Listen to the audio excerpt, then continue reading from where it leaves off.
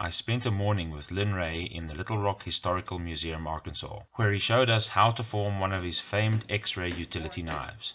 With his permission, I filmed the process as best I could. Again, this part right here, I try to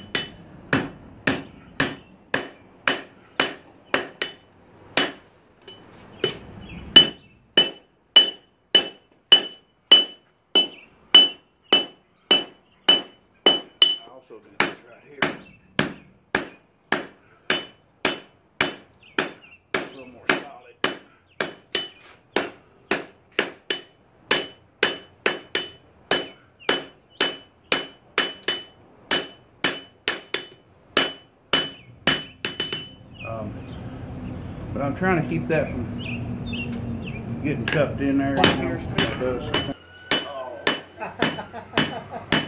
She's usually directing it at you. Yeah. Yeah. My wife, I tease her about that. My wife. She don't talk to Stuart about the same thing she talks to me about. I talk pay the bill. Yeah. Yeah, We all. Everybody that's married, we get about the same. But I tell you what, the bladesmithing community is by far one of the most uh, diverse And it should be. communities in the world, I think. If you notice that blade, uh, you get in any other realm of uh, business that's worldwide, yeah,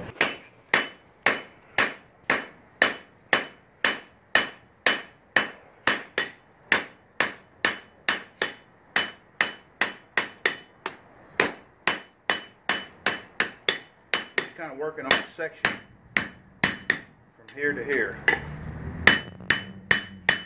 And I'll come back from here to there, blend it.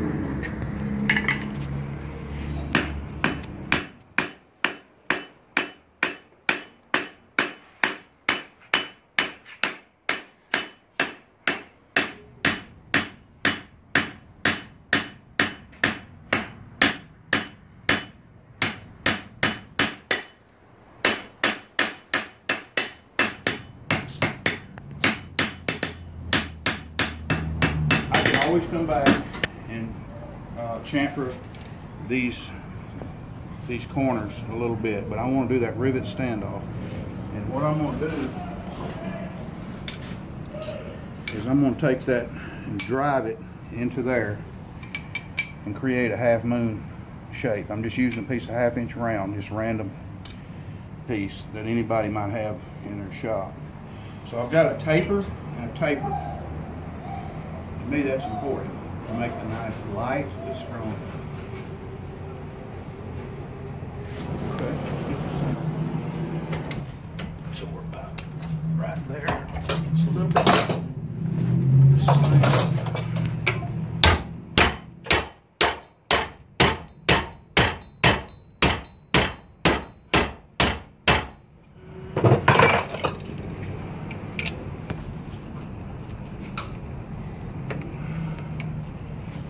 Just getting that dog leg. Beaver tail. That's a beaver tail. Oh, is that the beaver tail? Okay, see, I don't know which one's which. Now I know. We got Got dog dog leg leg and beaver beaver tail. tail. And we'll think of something else here. Some other parts. Yes, sir.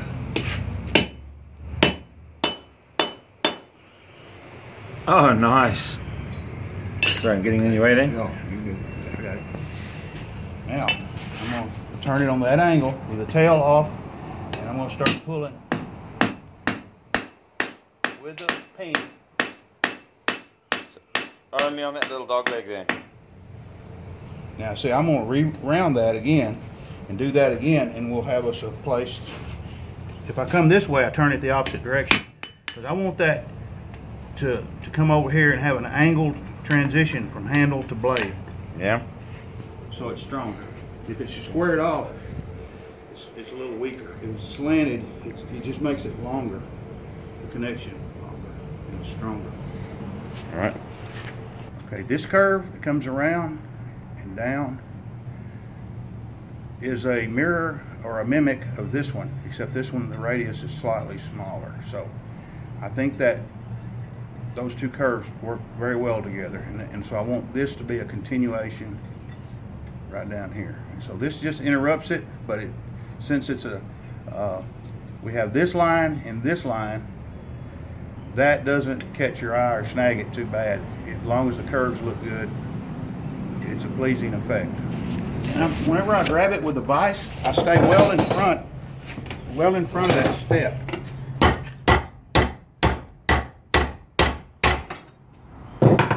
That step, that where that angle is going to be, because I don't want that to come up there and interfere with my. And then you'll do it again on Yeah. the other side. Yeah. Oh, okay. Well. I gotta kind of take it easy. And there we go. Perfect. I'm gonna, again, I'm gonna lay it on an angle and with the handle off. As I bring that material out,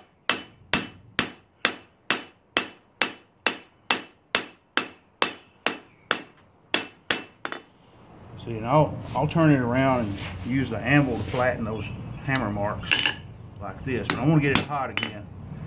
And I will, I will fiddle around with that. I'll probably drive that half inch in there again, kind of line it back out the way it's supposed to go.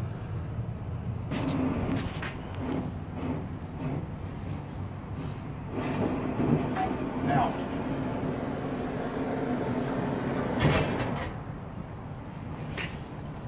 Let's do it this way. I'm just gonna get it set and then start.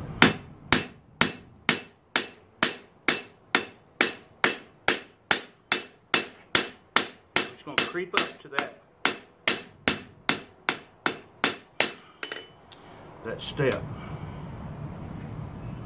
You see the step right there? Mm-hmm. So as I forge everything, I will continually draw this way and thin and bevel.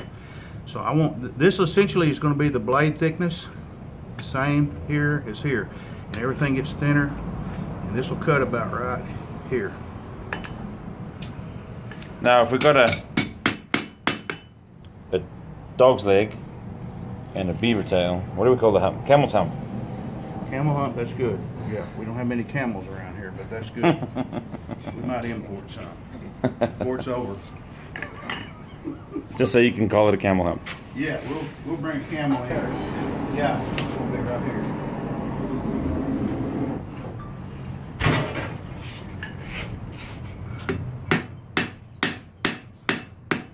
And another thing that I'd like to do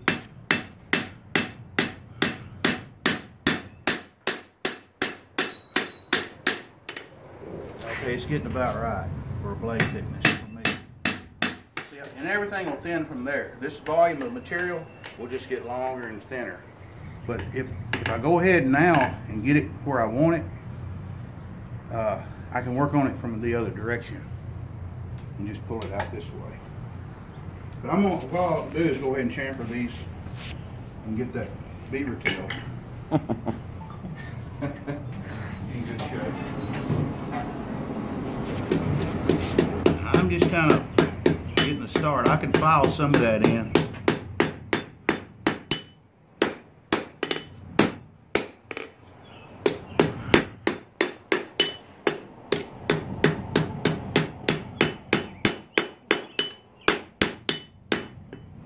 And by doing it that way, the uh, the anvil will actually smooth those original chamfers hammer marks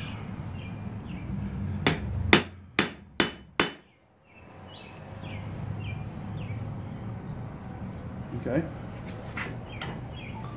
That's not necessary. Thinking about it.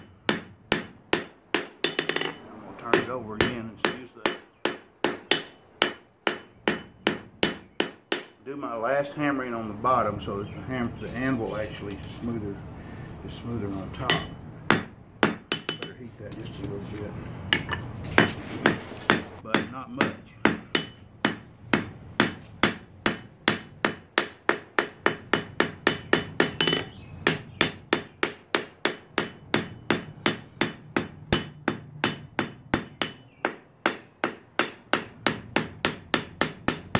twisted on me a little. I'll straighten that out real Yeah. See, that's all I was wanting to do right there. Just put just ever slightly so much. Just so that it kind of blends, uh, makes that Yeah. better. And this, when it pulls down, will actually go back to complete and- that and curve. complete the curve, yeah. Yeah.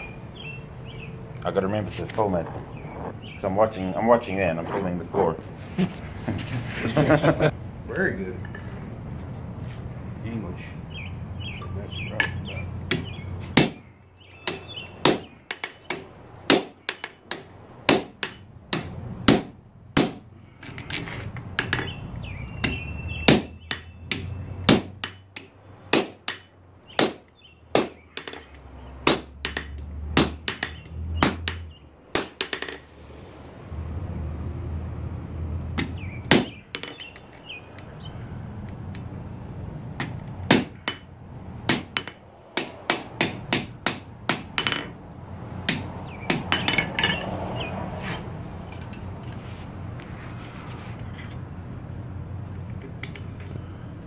about- I like It's al- that al- tip to be right in the middle. already kind of got a point on it for you. Yeah, yeah. And that'll draw out a lot longer than you think. It's really hard. I couldn't do it.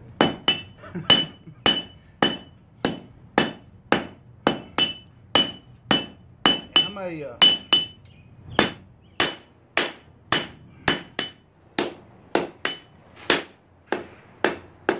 I'm gonna come back and file the tip of that just a little.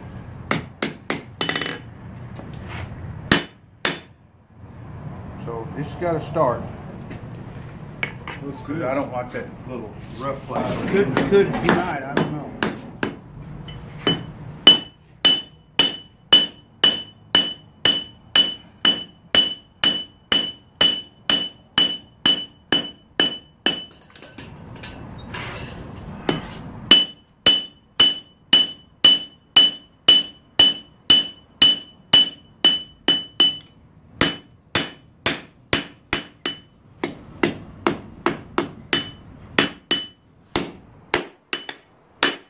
Little. I might think of a name for that. I think camel toe is taken. Yeah. Yeah. Speaking of that, yeah.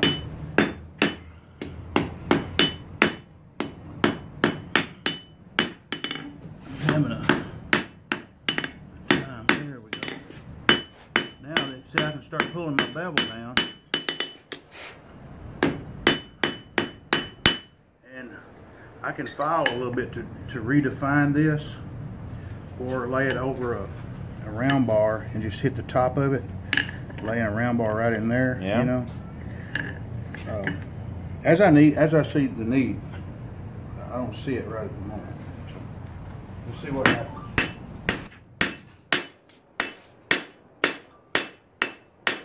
Come on, I'm trying to feel for the edge.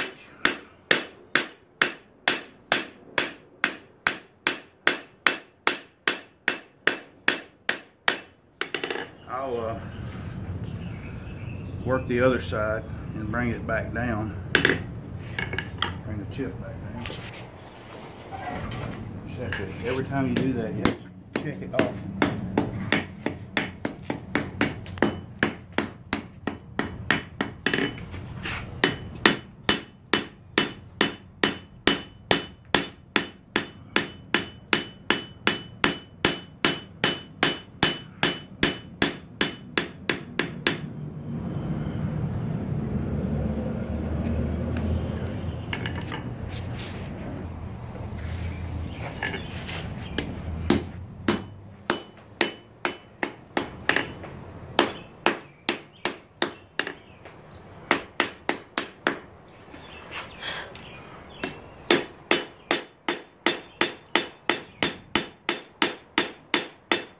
Mostly hitting the anvil, but I can, I can feel the, the blade too.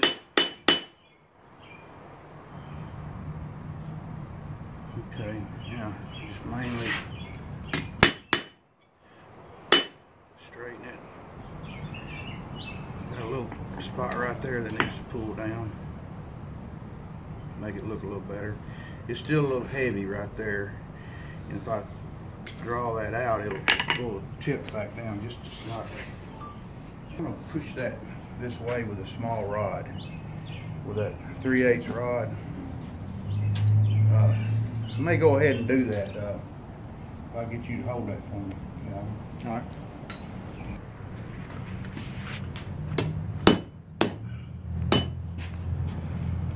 All right. Looks pretty good.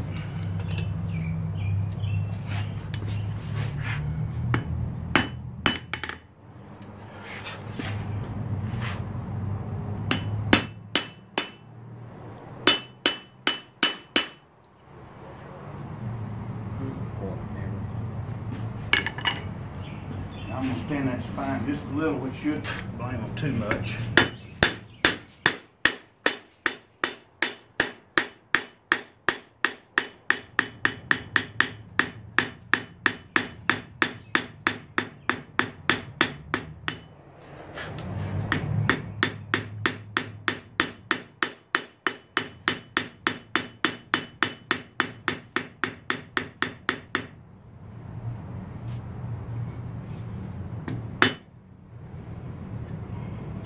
You think? It's good. Beauty. Oh, camera's that way. You do that too? I'll do that it to right. So I want that, even that little tiny tip end of that, I want it to be hot.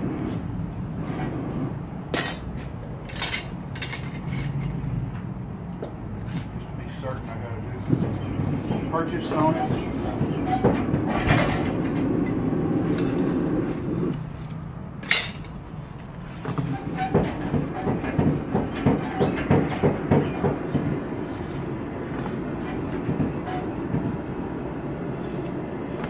Looking for a teardrop shape.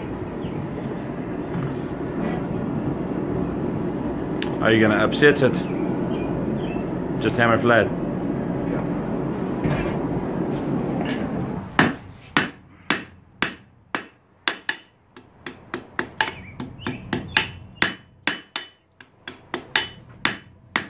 And I want that thickness to flow right into the, t- the uh, handle. I don't want it to be too thin. I want it to be uh, substantial enough that it doesn't look or feel weak. So I want the taper to flow right into it. Make sense? Yep. Okay. And another point that I'd like to bring out is that the flow, when it comes around here and curves, this is sort of uh, on tangent with, uh, with the center of the radius. Kind of runs perpendicular, yeah. Yes, so this swings through.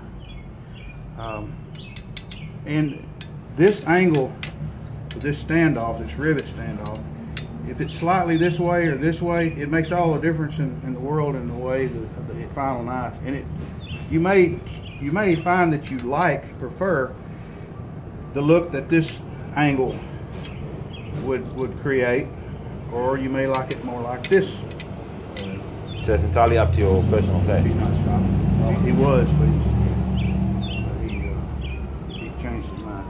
Yes, so you got room for your, your taste. You got room to tailor to your own taste. Another thing, when I punch the hole in it, since we're gonna be swinging right by here, I want that guard to just come almost flush with the cutting edge. I like that, so I can actually cut on a flat tabletop. So I move in only about a half inch at the most to punch the hole right about in that in that in that area. I like it. That's ample tail to hang below the rivet. So that also gives you more of the handle back where you need it. If you push push the hole up too far this way, you're gonna end up grinding off part that you really need in the handle. Right. So, uh, very often, quite often I don't even have to touch this on the grinder or file it. Sometimes I will here. That looks pretty good. Um, but I want now I'm going to uh, to file that. I'm going to do a low red uh, subcritical anneal, as they would call it. John White would call it subcritical anneal, and it's just a low red, and then let it air cool, and I'll be able to. Um, I'm just going to come down roughly the thickness of where I'm going to go through the punch that hole and go through the beaver tail. I'm going to come down about that thickness plus just a, a hair more. To allow for the riveting. Yeah. So I'm going to octagon the piece first. And I'm primarily pushing to the side so that I won't keep going deeper. So I'm not blocking your light, am I? I can't hardly see anyway, so you might as well turn the lights out. No, we're good. Okay, I'm gonna I'm gonna come around this way.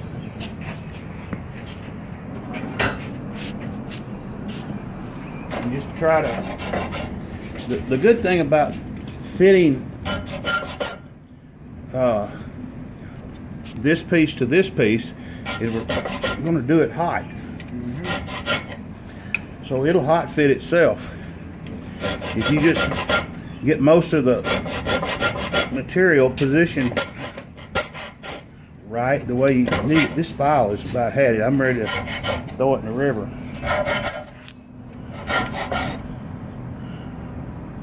That's an expression. I'm not really going to do that. Plain old square file.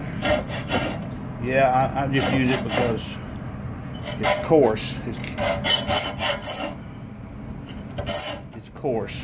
You know, I, I'm just a coarse kind of a fella.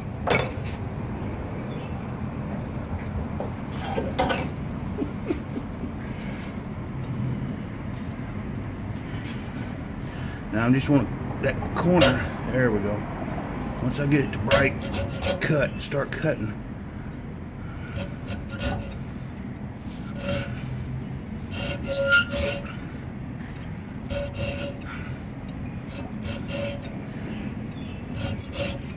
One side or the other usually cuts better for some reason. And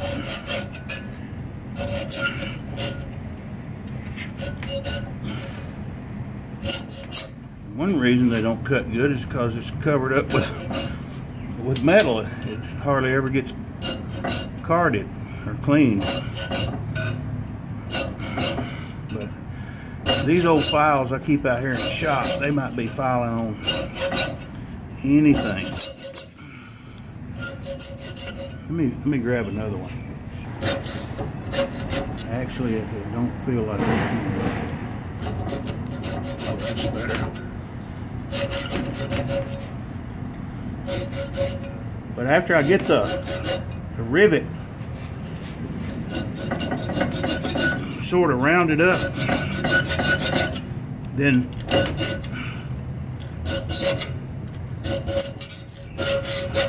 that gives me an idea about how big to make that hole. Mm-hmm. So it don't have to be perfect.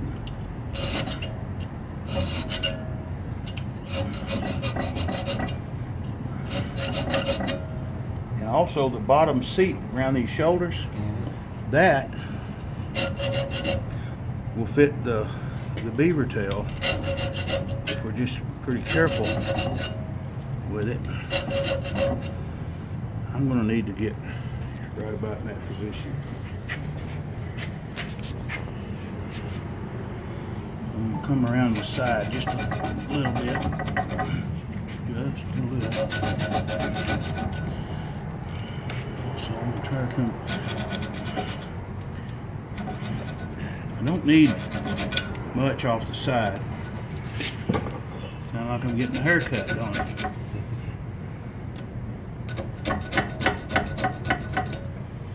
Um, and there's ways, other ways of getting this rivet shaped like this. You might can use what they call a monkey tool or um, of course the a really good file, a Grobet file, which we're not going to keep in this old shop, would help having a good high quality file. I'm using what we got right out here in the shop. And I, I like just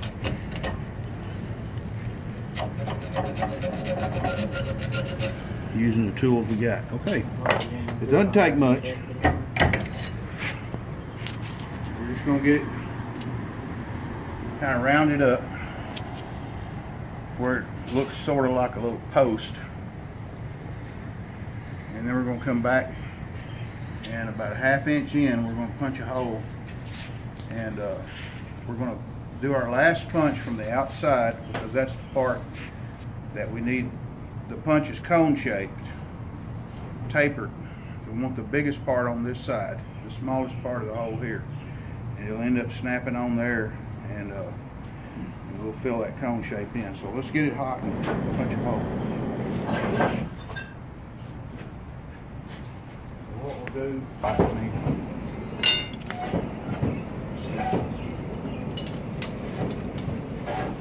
start with punching. I'm going to punch from this side and then finish up, pow, and then jerk it right back up here to the um, that hole. So we'll go pow, pow, and let's see, Pow. pow, pow, and Pow. pow. Like Barney Fife says. Pow, pow, pow. Must be an American thing. Yeah, it's, it, gotta live here a while. North Carolina thing.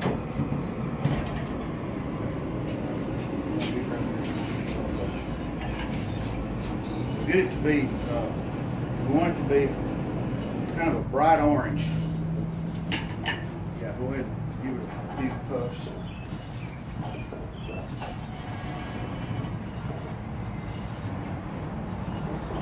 You ready?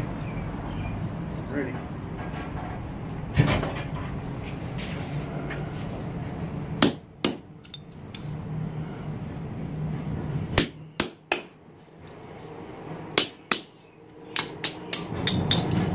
Wow. You made that look easy. See that right there? That's the plug. It's real hot probably, but that's the plug right there. Excellent. Is that old? Looks, that's about right. A little twisted, but not too bad. Not too bad.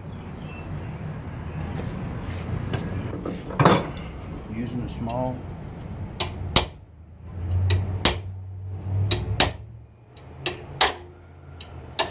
You see that snapped on? Now, I'm go ahead.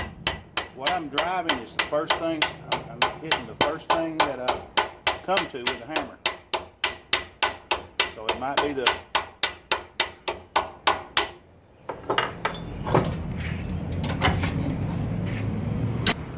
I'm gonna hit it with that pipe, or uh, that round.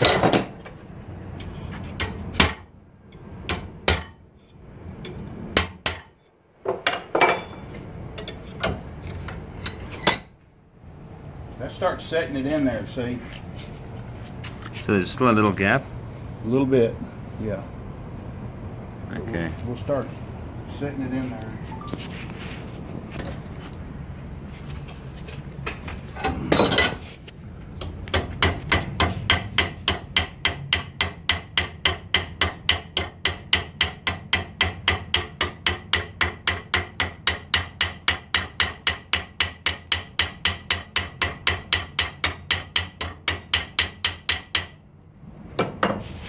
This thing gets on there, it don't have to have much, it's not gonna unravel like a noodle. Right. It's, it's gonna just be held. So that's, now I'm gonna widen the gap and shape the handle. I'm gonna reshape the handle.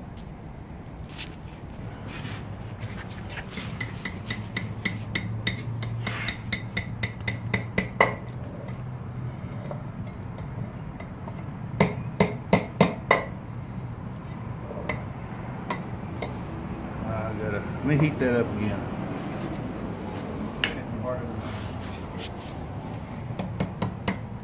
Uh-oh, it's popping off, I think. Yep, it's coming off. Yeah, I can see it.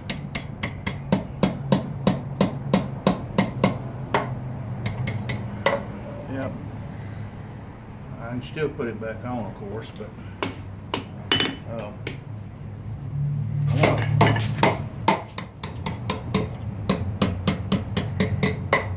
Yeah, see that pushed, pushed it back on. Um, I still gotta tighten it just little. Um, There might be a little bit more adjustment to do.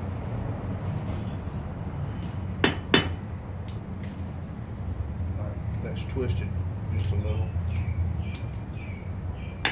I can heat it and just kind of crank it just a little to get that lined up better.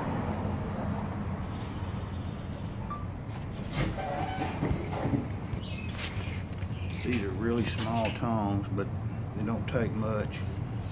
So that's Say it's not the size that counts.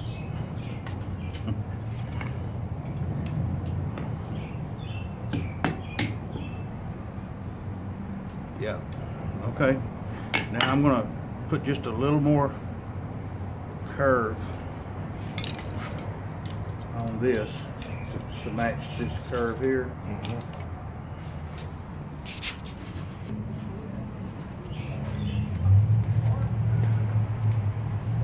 Okay, that's good.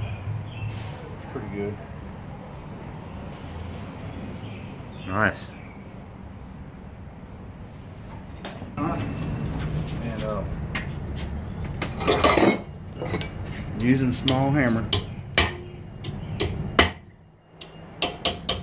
I don't Yeah, like it's- that. It's coming off. I don't like that. I need to put pressure on it. I gotta do this step.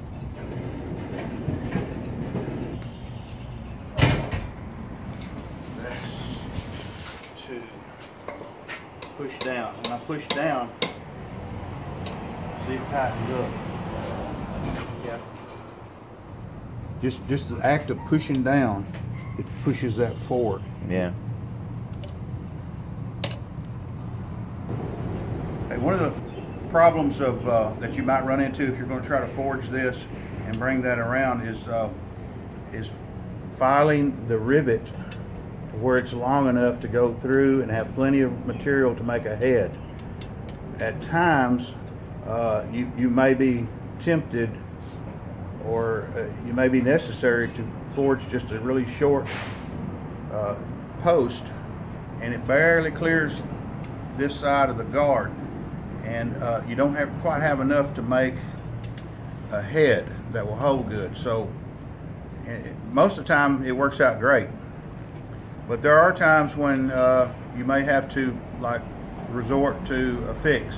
Just fix it to save the knife save the project. Uh, there's no problem with that. But uh, so for instance this one right here that turned out a little short so we're going to share how to do that. We'll just take a TIG welder and just put a little right there on that post. It's just flush but we're just going to touch it with a TIG welder and it will basically be the head for that rivet uh, yes that's not ideal but some cases we do that if it happens that way It helps to know for somebody who Yeah. that happens to know how to fix it. yeah you won't get frustrated and uh, and the next one you do better Yeah. yeah we just get make that longer and do it right and then I can reshape this handle because it's captured that's captured and I can widen this gap this space right here and make that look more flowing and I've got one that's cooled off that looks more like we want and that's the one. That's the way we want it. Let's see the rivet area. So that's a See cl- that? yeah, that's a nice clean rivet we can see there. Yes. Brilliant. Okay. Thank you very much, Lin, for showing us how to make one of your X Rheas, and hope many people will learn from this. Glad to do it. Any problems or any questions, just contact me. Everybody can contact me easily. Uh, on Facebook, you are on Lin Rhea, That's correct. Facebook or Instagram. or Instagram Or- is at Lin Rhea. Uh, yes. Yes. Underscore any underscores At or L- one L-W-R-H-E-A. L-W Rhea. at LW Rhea. All All right. lowercase. Thank you very much, Lin. You're welcome.